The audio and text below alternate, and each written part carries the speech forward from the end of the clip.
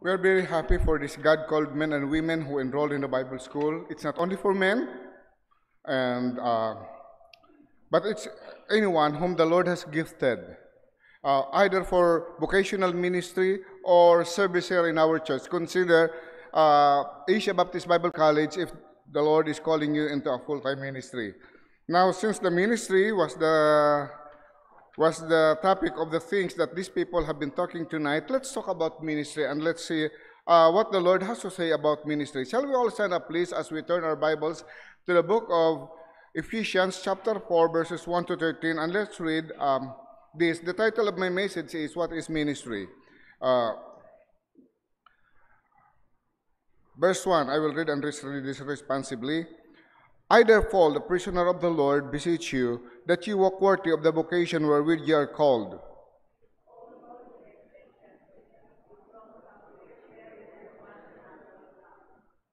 Endeavoring to keep the unity of the body, uh, unity of the spirit in the band of peace.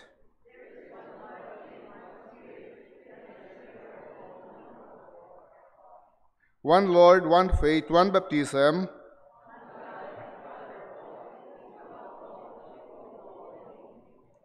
But unto every one of us is given the grace according to the measure of the gift of Christ.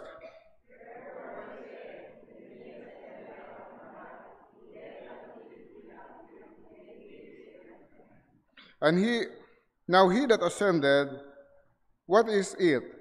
But he that also descended first into the lower parts of the earth.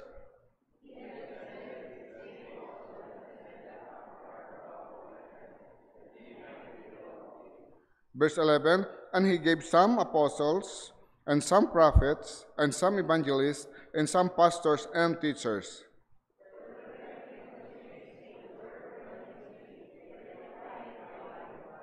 Verse, verse 13 Till we all come in the unity of the faith and in the knowledge of the Son of God unto a perfect man, unto the measure of the stature of the fullness of Christ. Shall we pray? Heavenly Father, we come to you and we ask you, God, that you would help us as we uh, study your word for us. Help us, oh Lord, that these people who had graduated uh, in Asia Baptist Bible College, as they, even they're considering um, pursuing their education, and others will be going to the fields where you had called them. I pray, O God, for your guidance in their lives. I pray, O God, that you would give them the courage uh, and also the empowerment that comes from you, and may they learn to depend on your strength and dependence and the authority of your word, so that, oh Lord, that they will never uh, they will never fail, because you have promised that you will always be with them. And this we ask and pray in the name of our Lord and Savior Jesus Christ. Amen. Okay, you may please be seated. I have four ideas that I would like to share with you tonight, but uh, this part of Colossians is an encouragement to the church that they would walk worthy according to the calling or vocation wherewith God has called them. And He endeavored them that as believers that they would preserve the unity of uh, the unity that we have in the Lord Jesus Christ and in the all Holy Spirit given by the triune God, that they would that we as a church would uh, would be demonstrating lowliness of mind, meekness, long suffering, and as we forgive one another, and we do it all in love, and each one of us would endeavor to keep the unity. Now, sabi dito keep, not create. Because the unity has already been created by Jesus Christ when He died there on the cross for our sins. And when we put our faith into um, in the Lord Jesus Christ, the Bible says that He has baptized us into one body. So the unity has already been um, initiated by God Himself. So as believers, we are to keep that unity uh, of the Spirit in the band of peace. This, this is the reason why. For there is one body, there, there is only one body in the church. They're referring to the body of the church at large. There is one spirit by which you are called in the one hope of your calling. Remember this that the Lord hates division in the church. We are not, to the Bible students who have just graduated, remember this you are not building your own kingdoms. Many pastors are building their own kingdoms instead of extending the kingdom of Jesus Christ. We don't do that. There is no Baptist popes. And I hope that you will not be a Baptist Pope whenever you will be in the ministry. Okay, and then also there is one Lord, one faith. This, this faith has, has the article in it referring to the once and for all faith that is delivered to the saint, the doctrines that God has given to the church uh, in order that we may believe in, which also includes the whole counsel of God. So, one baptism referring to the Holy Spirit baptism, one God and Father of all, who is above all and in you all. Now, it's um, after this, it talks about what Jesus Christ has done through his sacrificial work. By his sacrificial work, what happened? He died on the cross for our sin. He accomplished what um, the, our work of redemption, and he was buried, and then he rose again on the third day. And the third day after that, he ascended back into heaven, and he sent the Holy Spirit to give uh, this gift to the church. And the reason Lord is giving this gift to the church through the Holy Spirit uh, as a gift by which He would be able to do the power of the ministry, to do the work of the ministry. That is our power. The Holy Spirit is the one who is enabling us. The finished work of the Lord Jesus Christ is also the one that empower us as we serve in the Lord, as we serve Him. The risen Lord, when He has ascended, He had when He has finished His redemptive work. The Bible says that in Philippians chapter 2, uh, verse 11, uh, verse 9, uh, it says there that, Wherefore, after his finished work of redemption, God has highly exalted him and has given him a name that is above every name, that at the name of Jesus every knee should bow and every tongue confess that Jesus is Lord to the glory of God the Father. In him, he possesses all the authority both in heaven and in earth. And because of this, he commands us. He commands every one of us. He commands the church, as you are going, make disciples of nations. And ye shall be witnesses unto me both in Jerusalem and in Judea and in Samaria and unto the uttermost part of the world. Now the ascended Christ has gifted this, the church with these gifts. And these are informed of men and women that uh, whose ministry will be the one will be the ones that God is going to use in order to build his, up his church. And in verse 11, these are the types of the ministry that God has given. Verse 11, and he gave some apostles and some prophets and some evangelists and some pastors and teachers. Okay, these are the types of the ministry. Two of this, two of this ministry has already been fulfilled. Natapos na po ito. The work of the apostles and prophets is to finish the revelation in the New Testament. When they have written the New Testament, the office died with them. Wala na pong apostles ngayon. Hindi na ngungusap ang apostles ngayon. Ang iniwan nila sa atin ay ang kanyang holy word. The complete word of God is our authority for faith and practice. So if any person would say na I am an apostle in the present age, that person is not coming from God.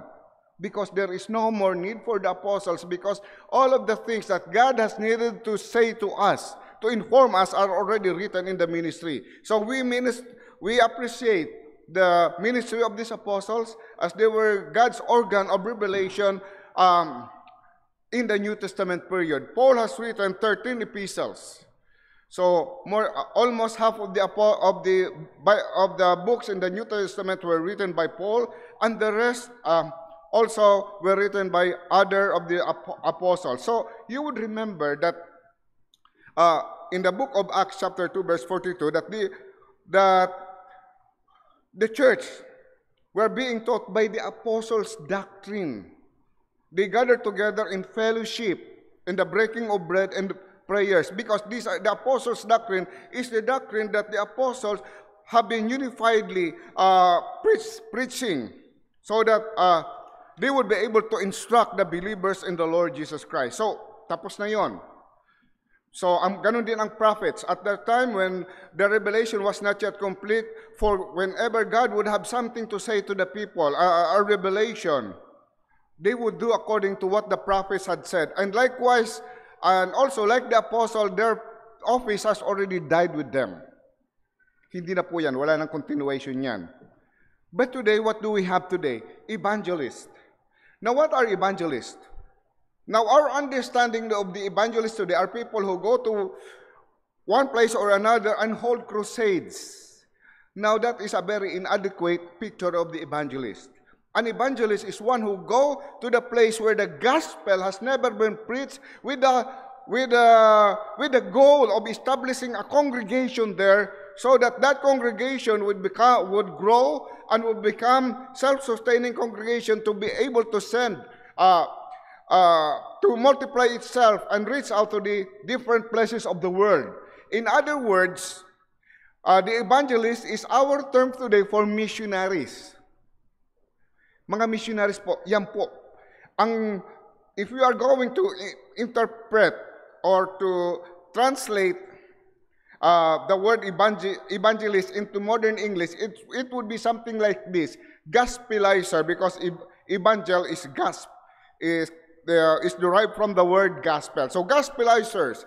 So Pastor Boyd was an evangelist when he came over to the Philippines, and later on he became a pastor. Okay, some people are gifted by God. The, this, the gift of the Holy Spirit are in terms of person. The apostles, the prophets, and the evangelists. What else? Pastors slash teachers. This is actually, uh, this is, uh, this is hyphenate words that would be, what we would say are hyphenated words, that if you are a pastor, you should also be a teacher. Remember that one of the qualification of those elders, pastor, or shepherd in the church, that they are to be, what? Up to teach. May kakayanang magturo. And I appreciate those graduates because they are up to teach. Because from the very start, they are also up to learn. If you are not willing to learn, you cannot be a pastor. If you are not teachable, you should not never enroll in the ministry unless you have conquered that habit of be, not or that attitude of not being teachable. By the way, it's God who calls pastors. But if God's people for the ministry, such as pastors and teachers. So, uh, the office of the pastors is to feed the flock. Yan ang ibig sabihin talaga ng word of pastor. And another name for a pastor is an elder as an example to the flock. And also sometimes the word in our King James Bible, it uses the word bishop to oversee the affairs of the church and the spiritual growth of the members. That is the ministry that they are looking for. For you graduates, I would like to talk to you. The work of the pastors requires you to study diligently the Word of God. This is your only authority. Wala nang iba. You don't get your, your cues from the culture. kung anong sikat sa culture. So if we are going to see that the new newest movie today is a about, hindi ko alam kung anong movies ngayon, but yung last time, the Rise of the Skywalker, believe me, there are people who are using that at the as a study guide. Before I have I have read in the internet like this. Uh, the Return of Superman Bible Study Guide, and they make an allusion between Superman, the last son of Krypton, and Jesus Christ. For what reason should, uh, should some people who call themselves pastors do that? Ours, this is our only revelation. Wala nang iba. There are some pastors today who have unified or synchronized Sunday school lesson na kagaya ng mga INC na parang pasugo. And the ones practicing them are people who claim to be Baptist. We don't do that because every church needs is different. And by the way, your only authority as a herald of the Word of God is coming from this Word, from this book, none else. It requires you to diligently study and having the full confidence that this that the Word of God is going to do its work as you faithfully teach it, as you as you as you present it to the people, depending on its power to do the transformation in the lives of the people to whom you are ministering to. So these are the men that God, whom God had called. You have the apostles, prophets. I would just, uh, just like to add this because there is a person claiming to be an apostle there in Africa, in Malawi, who claims that he has, was able to discover and to produce a soap that is able to wash away our sins. we know that that is false. It is, they, he has business in mind. So, I, I told Brother Christopher, if ever I would see you doing business, selling soaps that would wash away sins, then we will ask you to return your diploma. okay, he promised that he will never do that. you know that, that there are people who are claim, make that claim, and there are, sadly there are many people who get hooked with that claim, giving their money with the hope of, of washing away their sins without repentance. Okay, now, verse 12. So God has given the apostles, the prophets, the evangelists, the pastor's teacher to the church as a gift by the risen Lord. For what purpose? Ito. The purpose is the equipping or maturing of the saints. For the perfecting of the saints.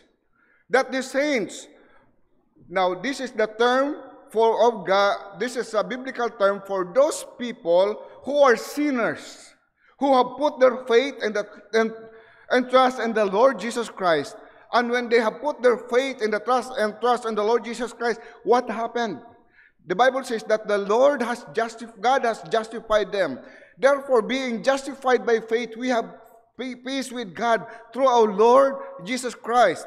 Another thing that happened is that they have been now separated by God unto Himself. This is what you would call the positional sanctification. Positional, they are now in God, sanctified. That is the root word for holiness. That's why they are called saints. But of course, sometimes our practice and our standing still is a long way off. And the work of the Holy Spirit and the work of God is continually doing, changing us into the image of Christ. And you as a pastor, you are the visible agent of sanctification for the members there in your church. In the preaching and the teaching of God's word, your ministry there is to for them that they would be mature through your teaching and preaching ministry and the example that you show. By the way, I, I would like to emphasize that because uh, your teaching must, must match with your behavior. You cannot say one thing that would be contradicted by the way that you live. So you would do this as um, by teaching what needs to be done and also show it. Influence your teaching to your example. So, what else? Once the saints had been mature, this is also this is not three, by the way, this is not three different work. This is just taken as one. Because once the saints have been matured, they will now be equipped for the ministry. They will now be qualified for the ministry. We need mature, sanctified members to do the work of the ministry. A ministry that would be headed by an immature pastor immature workers will do a great damage. So, for the maturing of the saints, for the perfecting of the saints into the work of the ministry. So, the mature and growing saints, we will never reach the full state of our sanctification or maturity while we are here on earth. But when we are talking about our sanctification, we are not talking about perfection. What we are talking about is the direction that we are going in our life. You will fall many times. But there will be also pattern of rising up and for and continuing to grow and grace and in the knowledge of our Lord Jesus Christ, as Pastor Boyd this morning have shared with us, has preached to us. What else? Once the saints have been equipped, what's going to happen? To edify, to strengthen the body of Christ. Remember, as I mentioned earlier, your goal is not to build your own kingdoms. That should not be. So that you would unite all the Baptist churches under your name. Hindi po pwede yan. excuse me for using this term, the ministry is not a Game of Thrones. I'm not watching that film. I'm not watching that TV series. By the way, so that's the that's your work. Your work is for the for maturing of the saints. Oh, now that's going to take a lifetime, even for your own selves. To, to, for you to pursue maturity, it's going to take a lot. As, and to equip them for the ministry to edify the body of Christ. For what reason? Verse 13, let's read. Till we all come in the unity of the faith. Ito po yung pinaka-goal natin. Kahit sa, lalo sa inyong mga Bible student. The unity, till we come in the unity of the faith. The word faith there has an uh, definite article the. It means this is the this is the faith that God has given to the church by his by the apostles which contains everything that God wants us to know. These are doctrines. God wants us to understand. We must understand this and God wants us to obey. Remember this that doctrines are not just academic or theological knowledge. These are truths to be obeyed because for every doctrine, there is also a corresponding behavior that would go with it. There is a there is a corresponding duty. Doctrine and duty must go together. Another word for doctrine is the word creeds. Creeds and conduct must go hand in hand. Hindi po pwedeng ano, magaling ka lang sa doctrine tapos hindi nakikita sa buhay mo. O kaya magaling ka, ano, magaling ka sa gawa, pero wala ka namang katotohanan o doktrinang pinanghawakan. Those things go, go together. And by the and this is the thing that we must do that as a pastor, as a teacher, some of you, Sister Hannah, will be doing your ministry as teaching in those places. Your goal is that there has to be unity of the faith, that you work together, that the whole church that the whole church would be would, would be educated that in such a way that they would be confessing one faith. There would be unity in what they believe. Hindi po pwede na may mga member tayo dito sa church na naniniwala na si Kristo ay tao lamang at hindi Diyos. That's the goal. And this can only be done as we as you as a pastor, it is your duty to teach doctrine in your church. Now we are living in the age of pragmatism when people say that doctrines are not important. Not so, says Apostle Paul. Okay, open your Bibles, please, to the book of uh, Titus. I know. 2 Timothy chapter 4, verses 1 and 2. I charge thee therefore before God and the Lord Jesus Christ, who shall judge the quick and the dead at his appearing and in his kingdom. Preach the word be instant in season and out of season, reprove, rebuke with all long suffering and doctrine. And previous to that, the Bible says in verse 16, all scripture is given by inspiration of God and is profitable for what? Doctrine, for reproof, for correction, for instruction in righteousness, that the man of God may be perfect, thoroughly furnished unto all good works. And you, as you teach your doctrine, it is going to filter out error from your church. And it's going to create unity. When people come together, uh, they, and you, you would hear you preach, and, and from the preaching of the passage, they would be able to learn the doctrines that the Bible teaches. So that there would be unity in the church. It's going to take a lifetime. But not only the doctrine, unity of the knowledge of the Son of God. In verse, uh, in the same verse, that there would be that we as a, that you as you are going to build your church and even as you ministry minister in this church that your your goal is that there would be unity in the knowledge of the son of god. So what is what kind of knowledge is he talking about here? It uses the word ginosko which means of an intimate knowledge. Yes maybe you know something about god theologically but putting it into experience Brother Erwin a while ago talked about God's, God is being sovereign. Now, what, what happens when the truth meets life? Especially with the face of this coronavirus. or anything that is going to happen, then we have to trust that God allowed this thing to happen. He's sovereign. He knows what He's doing.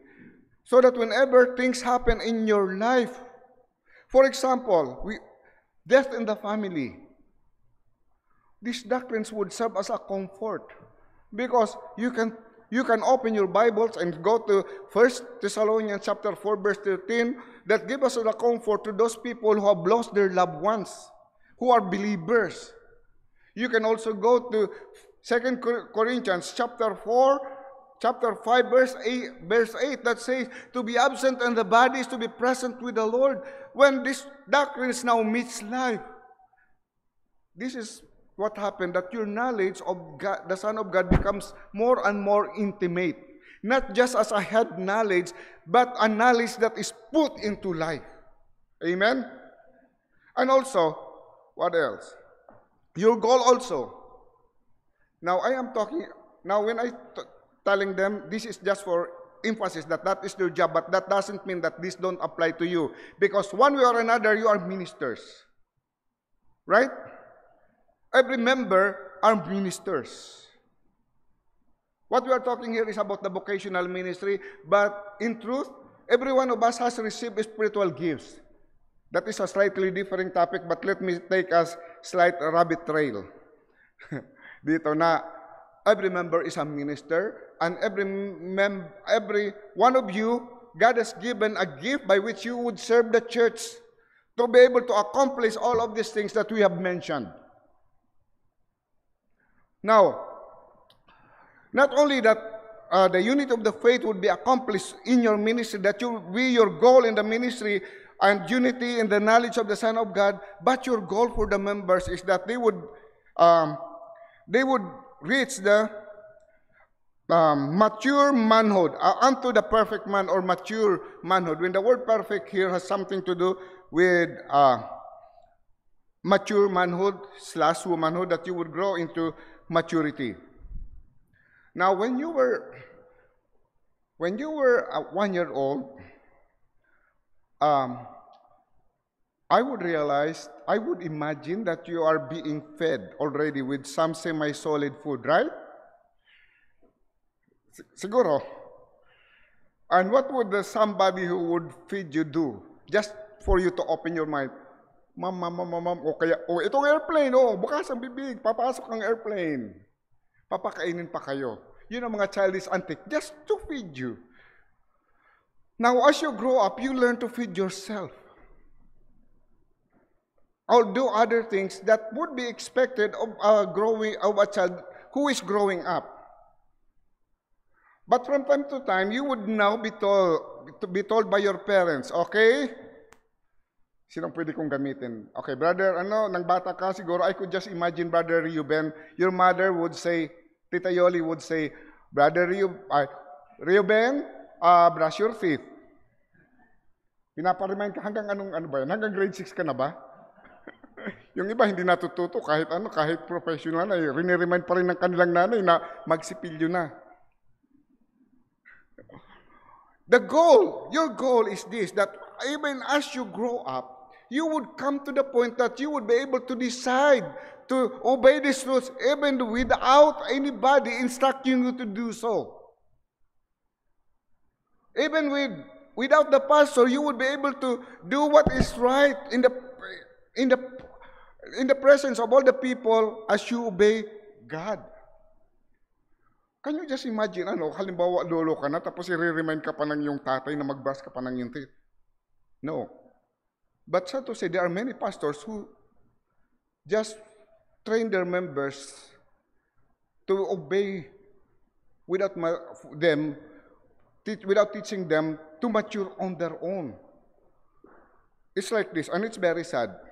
There was this pastor who bragged even about this. He said, you know what? Sabi niya, my members are so mature that they would not make any decision without consulting me.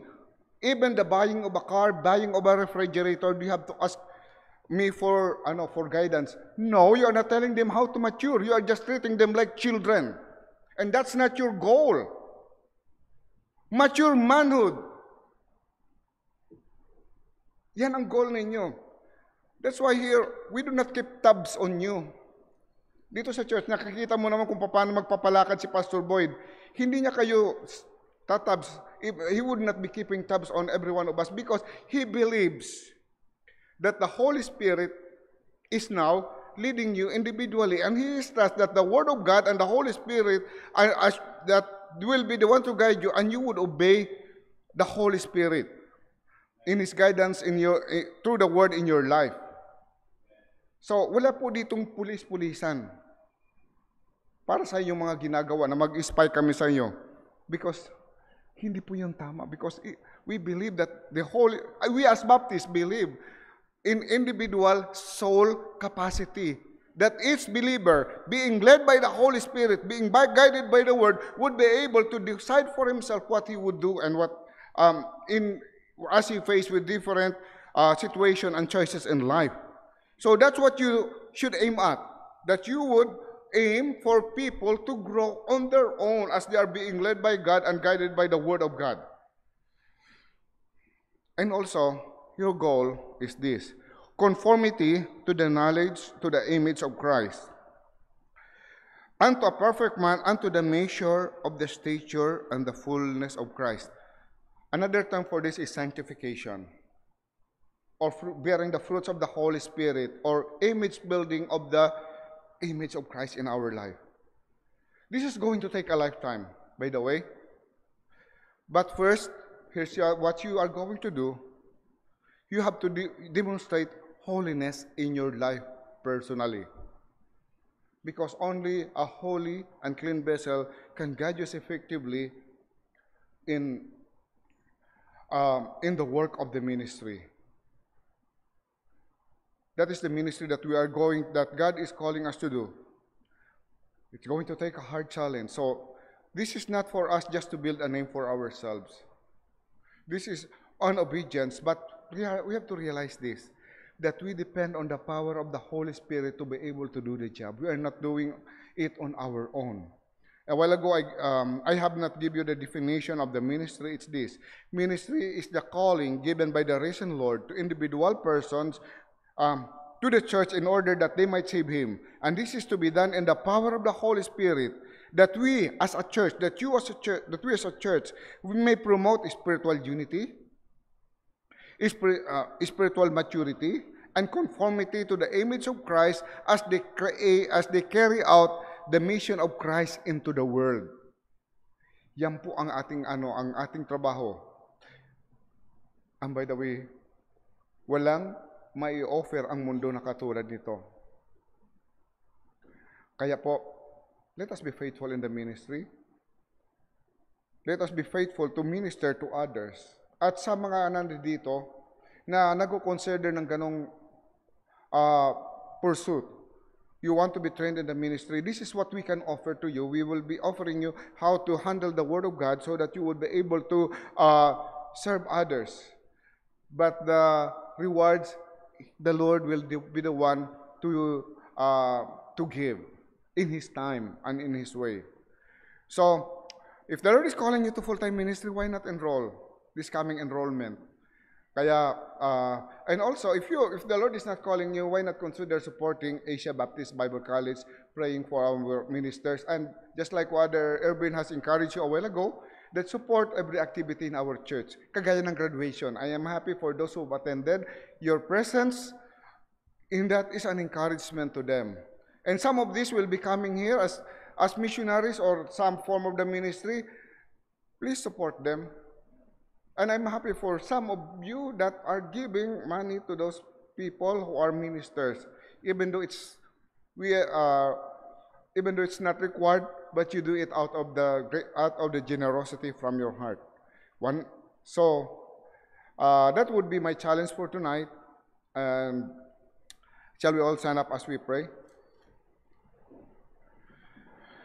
Heavenly Father, we come to you and we ask you, Lord, that help us to have a full view of the ministry, uh, uh, correct aspect, view of the ministry so that we would be able to serve you faithfully, depending on your, uh, depending on your power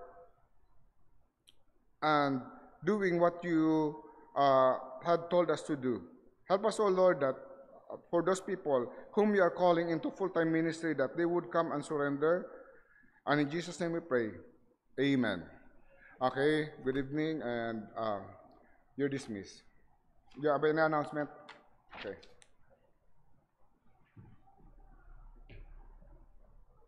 Okay, thank you, Brother Dennis, for that message. So after feed, feeding us with the word for our spiritual life, it's now time for us to be fed with our actual food. Okay, so after a song, we'll be dismissed, and we would like to invite everyone to please stay and come uh, down at the Tagalog uh, auditorium, and we'll have a fellowship to celebrate the celebration of the graduates and also for a welcome party for our dear pastor. Brother Irvin?